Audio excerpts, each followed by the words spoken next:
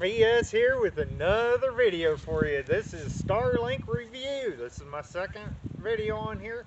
Be sure if you haven't seen the setup video and all that, be sure to check that out. Um, so we've had it for a few weeks now, a couple weeks in the beta program still. We're in Northeast Indiana and it's March 14th, 2021. 314 Pie Day. Let me get some pie. Yeah, me. All right, all right, all right. Enough about the pie. So, awesome. Starlink, you're great. You're amazing. Couple of hiccups along the way, nothing major. We did have one night where PlayStation wouldn't get online, our Android phones wouldn't get online, but our Roku's were online no problem. What is up with that? So we put the email Starlink, and they actually gave us a call I couldn't believe it. Called us. It was in the evening too, which was kind of weird. It was like 10 o'clock our time. Gave us a call, personally called us, and explained what was going on. So apparently, it had something with IP addresses or something, and they said the fix is unplug it and plug it back in 15 minutes later. But by the time they called us, it was a couple days later. It was working by morning when we had the problem. So I think it just uh, whatever. I, I not even sure. But they fixed it. It got fixed. Been great. I ran seven speed tests a little bit earlier, just a few minutes ago, and they're all over the place. That's one thing. The speeds are not consistent, but they're consistently over a certain amount. For the most part, they stay above that 50 megabits uh, download speed. Um, I've seen in the hundreds several times, uh, but for the most part, it's right around that 50 mark. Um, and occasionally it is below it.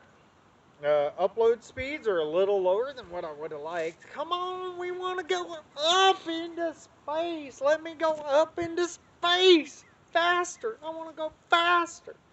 But, anyways, so about 20 megabits is about the highest I've ever seen it up.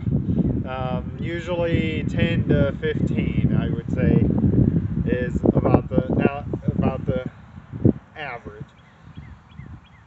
Latency, ping. It consistently is below that 40. Occasionally it gets a little higher, um, but it's usually around 40 uh, milliseconds. So, overall, two thumbs up. There is beta downtime expected. There are a few moments with no satellites in the sky. Um, we have not moved the dish since we've set it up. Again, watch that setup video. Uh, it's sat here the whole time. Eventually, probably going to get a more permanent mount, of course.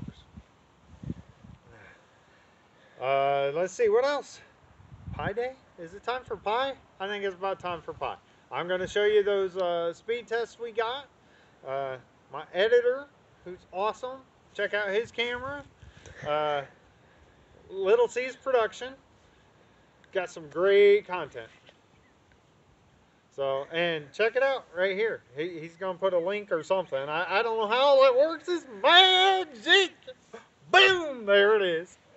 Boom, I got superpowers. Boom, there's another one, I bet. I don't know. Who knows? All right, later. Hey y'all, BS inside the house. We're gonna get ourselves on the interwebs. So I want to do a live speed test just to show you. So that's what we're gonna do. We're at speedtest.net. Uh, the speed test is run by Ookla. And wow, look at all this Samsung stuff they want to sell me. Hit go. Let's see what we got.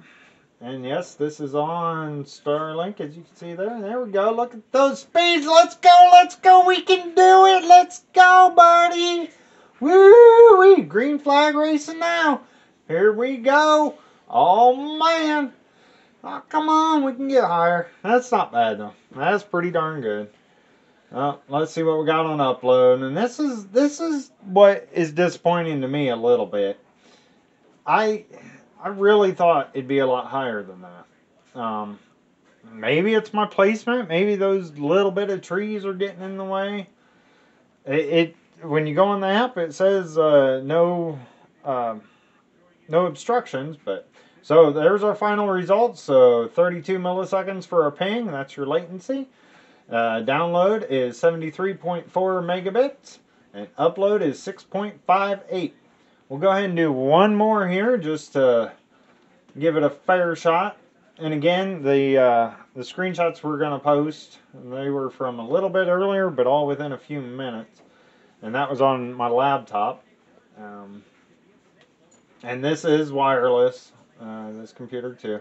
But there you go. See, now that's way low. And I don't get why sometimes when you do a second speed test, it goes so much lower. And now it ramped up towards the end. And that's what I've noticed is I and I think some of it has to do probably with the the website itself. Um, we can go ahead and go to fast.com after this too, just to see what we're at. But that pings at 48, which is higher than what they expect. The downloads at 20.81, which is way lower than what we expect. And uploads at 14.64. So I'm going to go ahead and say uh, in this one and next video, next clip will be fast.com. All right, here we go. We're going on fast.com. Let's see how fast we can go. Now, when I opened it up, I already opened it up. It was right at 25. This was right after the last clip. And that's about the speeds we were showing at uh, speedtest.net too. So we'll go ahead and refresh. We'll do a quick one. And there you go. It's right back up. So it, I didn't get on the app. It could have been, you know, beta downtime stuff going on. The dish could have been moving. Who knows? But now we're back up at 83 there. We're going to go ahead and show more and let it do its latency test, which looks like unloaded right at 40 milliseconds, which is what you're looking at on speed test. And upload is right at 10. So that's pretty consistent with the majority of the time on what we're getting. So BS out.